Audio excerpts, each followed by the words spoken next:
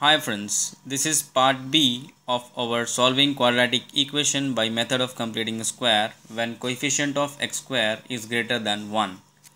This question will do the same as the previous one.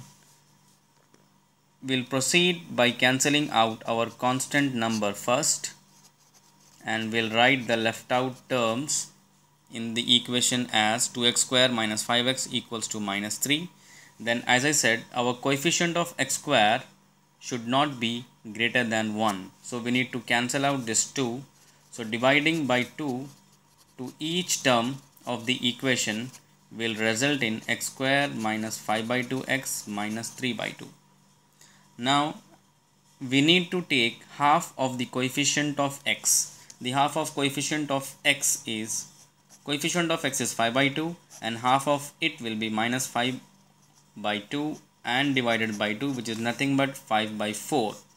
We'll take the square of this which is nothing but 25 upon 16 and this number we are going to plug in over here and add to both these equation both the sides of the equation.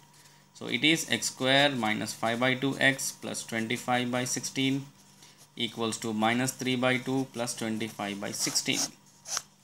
Remember we are adding the square of minus square of the coefficient which we got as half half of the square 25 by 16 to both sides to make it a complete square.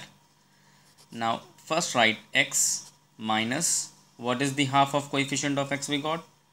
5 by 4 and then square equals to now we need to add the two fractions. We'll do the same way like we did in the basics. 2 LCM is 16 times 8 and times 8 24 plus 25 which, is, which will give me 1 over 16 x minus 5 by 4 whole square. Now I need to cancel this square apply square root. I'll have this one. 2 and root gets cancelled. I'm left with x minus 5 by 4 square root of 1 over 16 they are perfect numbers perfect squares so it will be 1 by 4 plus or minus. Now my x will be 1 time positive 1 by 4 and 1 time negative 1 by 4 I need to find x so I need to cancel out this 5 by 4 add it both sides 5 by 4 1 by 4 will give me 6 by 4 which is on simplification 3 by 2 similarly I'll add 5 by 4 to this one to get x which is nothing but 3 by 4. So my roots of x are 3 by 2 and 3 by 4. Thanks for watching. Hope you like it.